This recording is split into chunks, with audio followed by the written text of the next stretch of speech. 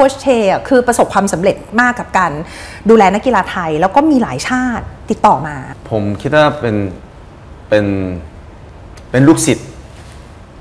สำคัญกว่าเงินนะอังกฤษอะค่อยติดต่อมาอังกฤษติดต่อมาแล้วก็ออสเตรเลียติดต่ออมาอสเตรเลียแล้วก็เป็นเป็นข้างๆเป็นเวียดนามเป็นมาเลย์ก็หลายชาติใกแต่ว่าล้ๆก็มีอืม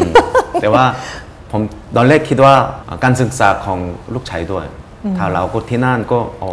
ลูกเราก็ได้ไปเรียนที่อังกฤษ ลูกเราก็ได้ไปเรียนที่ออสเตรเลีย ผสมภาษาสังคม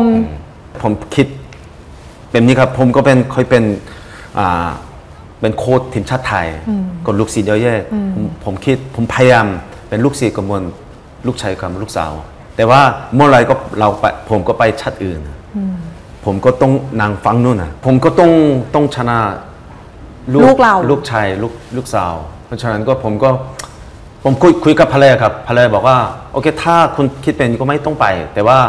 ภรรยาบอกว่าอยู่ที่ไทยหรืออยู่ที่ที่ชาติอื่นน่ะสิ่งที่สำคัญก็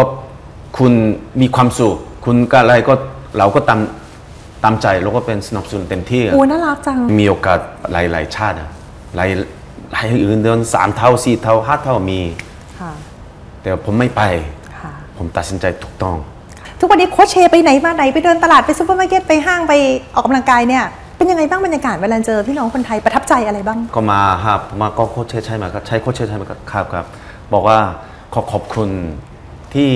ให้คนไทยมีความสุขอันนี้ก็ผมก็อ๋อก็ผมก็อันนั้นก็ผมคิดว่าอ๋อเป็นชีวิตแบบนี้ชีวิตนี้ความสำเร็จจริงๆอะผมก็เคยอ่าเป็นเป็นโค้ชตอนที่มัธยมกับ ครูรีโคตรรีเขาบอกว่าเป็นคนที่ความสำเร็จจริง ๆ สุดๆ คือตัวเองมีโอกาสให้คนอื่นๆให้มีความสุข